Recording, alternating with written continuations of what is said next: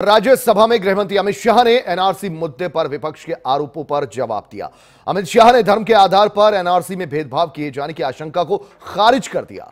गृहमंत्री ने कहा कि एनआरसी के आधार पर नागरिकता की पहचान सुनिश्चित की जाएगी और इसे पूरे देश में लागू करेंगे। शाह ने कहा कि किसी भी धर्म विशेष के लोगों को एनआरसी से डरने की ज़रूरत हरगिज नहीं है। यह एक प्रक्रिया है जिससे देश के सभी नागरिक एनआरसी लिस्ट में शामिल हो सकें।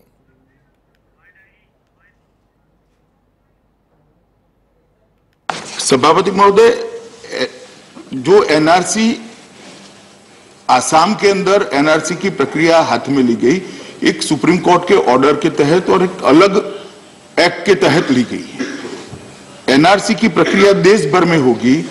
उस वक्त आसाम के अंदर भी ये एनआरसी की प्रक्रिया स्वाभाविक रूप से फिर से की जाएगी।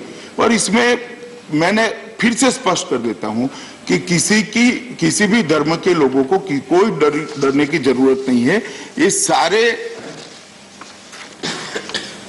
लोगों को एनआरसी के अंदर समाहित करने की व्यवस्था है ही है। और जिस गैजेट नोटिफिकेशन का उल्लेख माननीय सदस्य ने कहा, वो पूरे देश भर के अंदर एप्लीकेबल